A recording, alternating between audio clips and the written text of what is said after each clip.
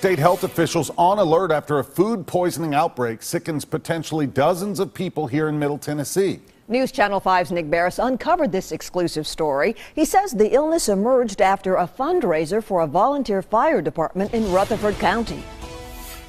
The money raised at this fundraiser pays for important equipment like this, badly needed by an important volunteer fire department. The problem is this time, people got sick. Salmonella can can be uh, very serious and can cause death in some people. Deputy State Epidemiologist John Dunn says reports of the illness are serious. No one's died, but several are sick, some hospitalized. We know of um, uh, a number of others, 18 total so far, and we're, we're hearing about more ill individuals. All of them attended uh, the Lascassas Fire Department fish fry on September 10th. More than 400 people attended the event at the station on Lascassas Pike in Rutherford County. The meal included fried fish and chicken, along with homemade white beans, other sides, and an array of desserts. Since then, many were sickened by salmonella and shared on Facebook.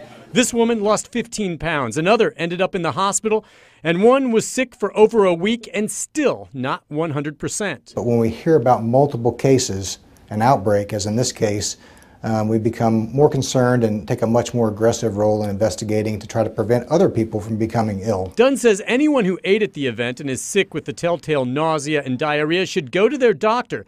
Then they may hear from the state. They want to ask them questions about what they ate.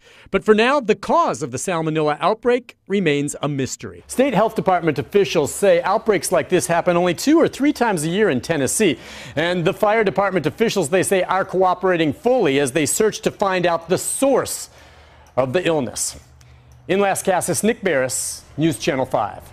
Nick, thanks. This is the first time something like this has ever happened at a Lascassas volunteer fire fundraiser. State officials say such outbreaks can happen anywhere by accident in food preparation or if meals have already arrived contaminated.